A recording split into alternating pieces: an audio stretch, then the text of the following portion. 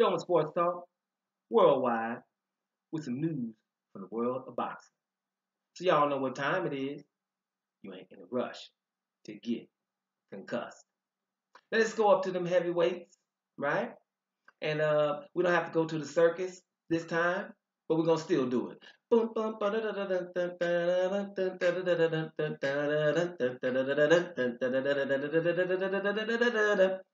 All right, that's the circus. You know that was the negotiation between Anthony Joshua and your boy Deontay Wilder. We got the news that hey, that fight is off. We already did a video on it. We knew what time it was, right? So at least it's a little good news, right? Or news that came from lineal heavyweight champ Tyson Fury. Everybody watch me, three of y'all, AM and the boys, right? AM, you know what I'm talking about. AM and the boys, right? Listen, when the lineal chap talks, y'all know what time it is. It's like whatever. You know what I mean? It's him, Adrian Broner, and Amir Khan. It is the way it is. But Tyson Fury is fighting again, and he's been calling out everybody, right? Except Luis the Real, King Kong Ortiz. He don't even return his call. Ortiz called him out, but he don't say nothing about him. But this is something he said, and let's hope it has some merit, right? But it's gonna be a classic case of be careful what you wish for, right? I didn't say what you wish for.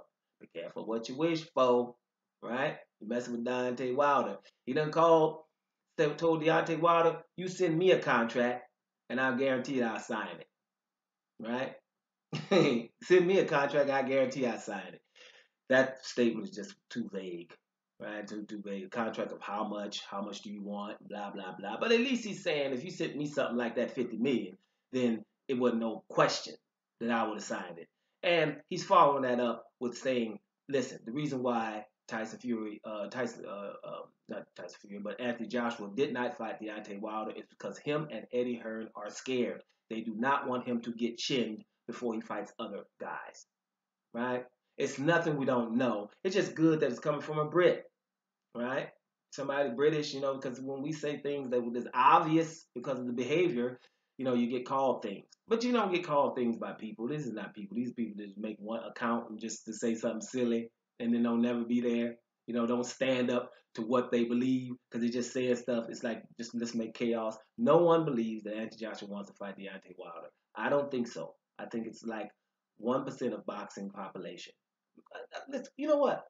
Let's be lenient. Ten percent, right, of boxing of all the boxing fans believe that he still wants to fight. People who've had access to the information that was that we had in front of us, right? So whatever. Tyson Fury saying the man was scared. That's why that didn't happen, and it's nothing that we don't know. Now, if he's serious about having Deontay Wilder, it would be a good thing. Reason why is a couple of them. Listen, first of all, Andy Joshua and them are feeling uh, entitled, and we know it. They know that they can fight anybody, and they're going to fill up stadiums which is England's fault, his fans. If they're going to be that way, then that's what's going to happen. They're going to keep doing that. I've told you a thousand times. But a Deontay Wilder and Tyson Fury fight would be huge. It would be massive, even if it happens now. No excuses, because Tyson Fury, let's not get it real. Like, hey, Tyson Fury is calling him out now. Right? So when he answers and say, well, let's fight in three months, we don't want to hear, right, that Tyson Fury is not ready. Because if he's not ready, then what does he need to do? Shut up. You mess with Deontay Wilder here. There's certain kind of guys you don't call out because you don't have to finish your sentence before they already say, well, let's go. Like an Errol Spence Jr. Right? You don't say nothing.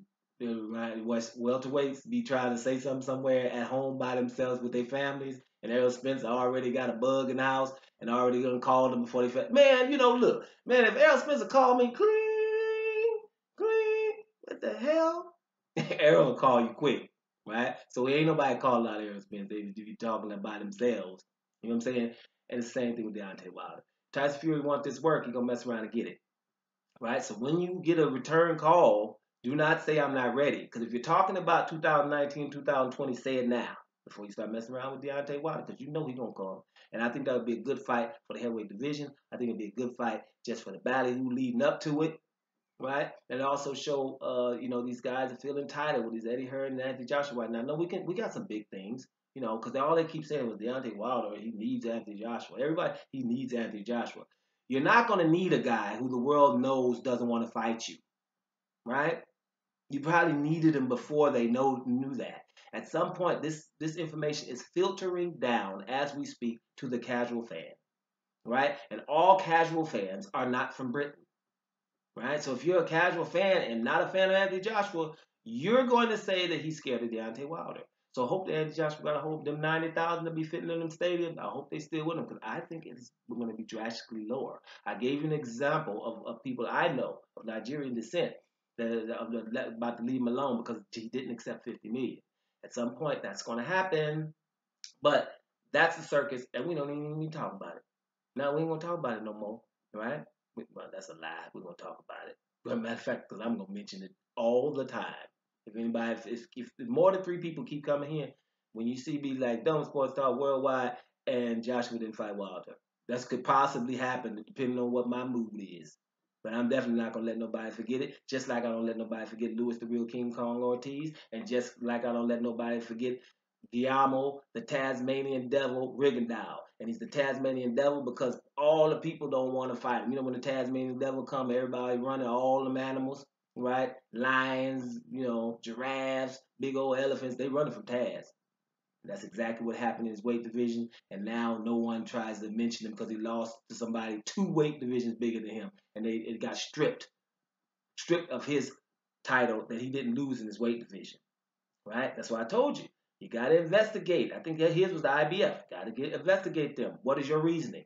Got to investigate the WBA for making uh, Anthony Joshua fight Povetkin all of a sudden right now.